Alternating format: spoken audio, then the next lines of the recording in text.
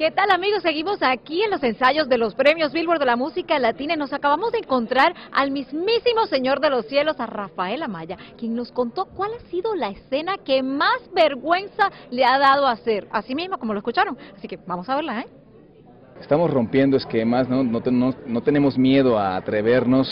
De hecho, acabamos de crear un nuevo género que se llama las superseries y bueno, sacamos un cómic también, la primera serie eh, de habla hispana que se gana un Emmy internacional. Estamos haciendo cosas que jamás se han hecho y vamos a seguir haciendo. Yo creo que esto es, nueva, es un nuevo oleaje, una nueva etapa de, la, televisión latina, televisión mexicana. Y pues estoy, estoy muy orgulloso que, que, que seamos la punta de lanza de todo este movimiento, este nuevo oleaje. Estoy muy, muy contento me siento muy responsable y muy agradecido.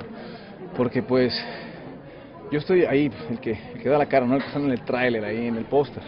Pero volteo para atrás, hay como unas 600, 700, casi mil personas trabajando para que el proyecto llegue hasta donde ha llegado y sea lo que es.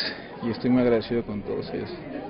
Cuando te, tuve que amenazar a una viejita, a una señora de la tercera edad, que le dije que, que iba a matar a su nietecita, eh, y le dije un montón de cosas. Me recordó a mi mamá y a mis abuelitos. Entonces me dolió más que cualquier otra escena. Y si quieren saber más del Señor de los Cielos, aquí mismo podrán encontrar muchísimas más información, más entrevistas y más fotos, así es que búsquenla que la van a encontrar. Y no se pierdan los premios Billboard de la música latina este jueves 30 de abril, comenzando a las 7, 6 centro con la alfombra roja. Es todo lo que tengo por ahora. Yo soy Ibe Machín. Chao.